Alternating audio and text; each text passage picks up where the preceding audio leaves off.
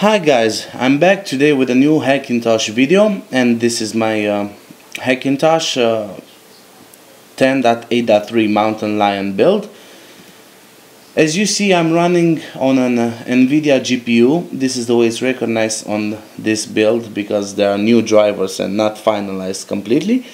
But uh, this is a GTX 650 Ti, I've just recently upgraded from a, from a Fermi card from the 550 Ti and the problem I'm having is with power management. As you see the GPU die stays at around 40-41 degrees and the GPU frequency is uh, at the highest level at 1.03 gigahertz.